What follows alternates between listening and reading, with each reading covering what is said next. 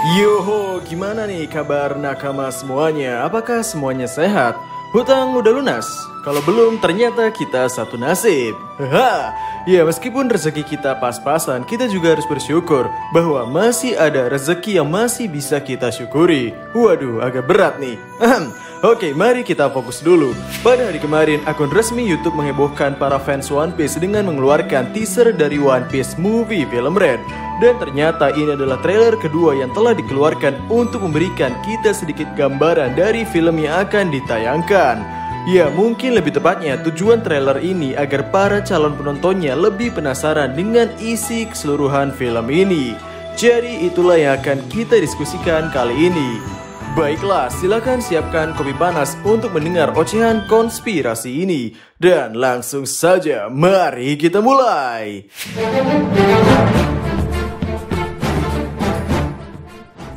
Pada awal trailer ini, kita langsung diberikan suara indah dari sang diva dunia, yaitu Uta. Ditunjukkan juga di tentang kehidupan Uta, yaitu ia berniat untuk membuat generasi baru atau generasi anak-anak yang hidup setelahnya bisa berbahagia. Dari niatan ini saja, kita bisa melihat kemiripan dengan sosok Sangs, di mana Sangs adalah orang yang tidak suka pertikaian untuk hal kecil, suka mencoba untuk mencegah terjadinya peperangan yang tidak diperlukan dan suka menghentikan peperangan. Lalu adegan selanjutnya pada trailer itu memperlihatkan ketika Luffy bertemu dengan Uta ini.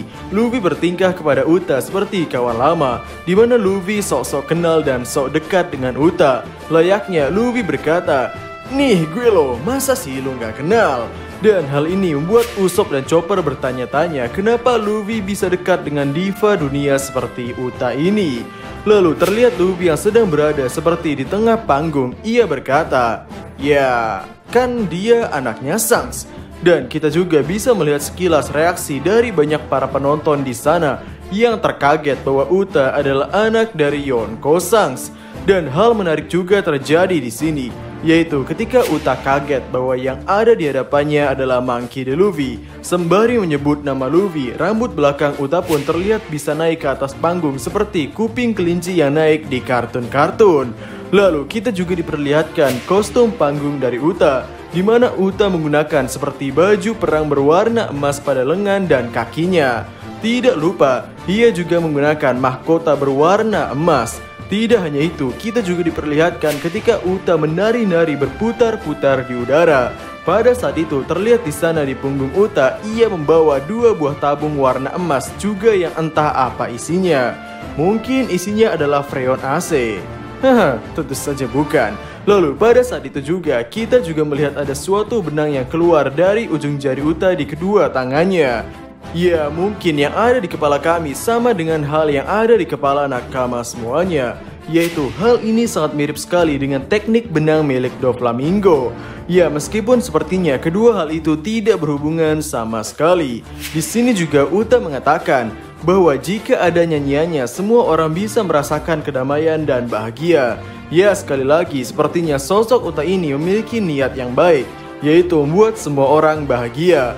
Melihat hal ini, kami jadi penasaran kenapa Uta ini sampai bisa memiliki niatan seperti ini.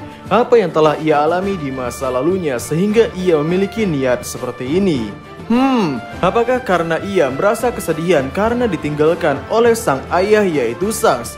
Lalu pada trailer ini pula kita diperlihatkan pulau yang akan menjadi panggung movie kali ini. Nama pulau ini adalah Musical Island Eresia. Melihat dari bentuk pulau ini cukup unik juga. Bentuknya mirip seperti bentuk tulang rusuk manusia atau binatang. Dan hal yang mencolok lainnya adalah terlihat adanya kristal-kristal raksasa berwarna hijau di belakang panggung pertunjukannya. Dan di sini kita juga mendapatkan penggambaran dari Uta dan Luffy saat masih bocil. Ternyata memang benar mereka adalah teman masa kecil. Dan menariknya di sini, ketika mereka bersama, kita bisa melihat sosok Luffy kecil yang masih belum memiliki luka di bawah mata kirinya. Yang memang sepertinya kejadian itu adalah kejadian Luffy memakan buah setan Gomu Gomu no Mi. Tepatnya buah yang paling dahsyat mythical Zoan Nika Nikanomi. Dan hal yang tidak kalah menarik lainnya adalah kita di sini melihat dengan jelas bahwa sosok Tausan Sani sedang berlari. Ya, ikon kapal milik Luffy terlihat memiliki tangan dan kaki dan berlari. Hal ini membuat kami cukup kaget melihatnya. Jika membicarakan kenapa ia bisa seperti ini, jawaban yang paling mudah adalah ada kemungkinan ia mendapatkan soul dari kekuatan Soru Soronomi. Namun mungkin juga hal ini terjadi karena kekuatan yang benar-benar baru yang akan kita ketahui pada film Red. Yo, jadi mari telan dulu rasa penasaran itu. Selain dari itu, kita juga mendapatkan beberapa scene aksi dari anggota kelompok topi jerami, seperti Babang Tampan Zoro, si kaki hitam Sanji, Robin dan Nami beserta Zeus, Frankie, Jinbei, Brook dan Room milik Low. Ya, di sini Nakama tidak salah lihat bahwa Nami masih memiliki Zeus. Jadi meski Big Mom telah meninggal di lahap magma, ternyata Nami masih bisa memiliki sosok Zeus yang pada awalnya tercipta karena kekuatan Big Mom itu. Hmm, apakah ini merupakan plot hole dalam cerita One Piece? Dan setelah itu, kita juga diperlihatkan betapa gagahnya sosok-sosok anggota kelompok Akagami no Sangs. Melihat scene ini, kami semakin tidak sabar untuk bisa melihat adegan seperti apa yang akan mereka tunjukkan. Kegilaan atau keseruan yang seperti apa yang biasa dilakukan oleh kelompok bajak laut Yonko ini. Sungguh aura kesangarannya tidak terbendung. Ya, pada trailer kali ini kita mungkin belum terlalu puas karena kita masih hanya sedikit diperlihatkan bocoran aksi dari bajak laut Sangs. Dan kalau boleh jujur, kami di sini masih belum melihat sosok villain atau model villain seperti apa yang akan menyulitkan Luffy nanti. Karena biasanya pada tiap movie Luffy akan dihadapkan dengan sosok villain yang lumayan kuat. Tapi pada film Red kali ini, Sosok yang mungkin akan menjadi sosok villain adalah karakter yang bernama Gordon. Ya, sosok Pak Tua berkepala berjahit ini dan menggunakan headphone ini sepertinya akan menjadi villain dalam film Red ini. Namun apakah Nakama berpendapat bahwa Gordon ini kuat? Tidak kan? Ya kalau begitu kita sepaham.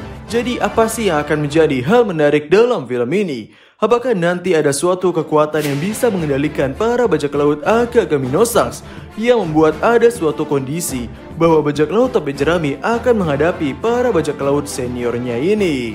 Hmm, hal yang pantas untuk kita nantikan. Ya, mungkin sekian dulu video untuk hari ini. Semoga video kali ini bisa mengenyangkan sedikit rasa penasaran nakama semua tentang movie film Red ini. Jadi, izinkan kami menutup video ini dengan mengucapkan kami diskusape dan terima kasih banyak.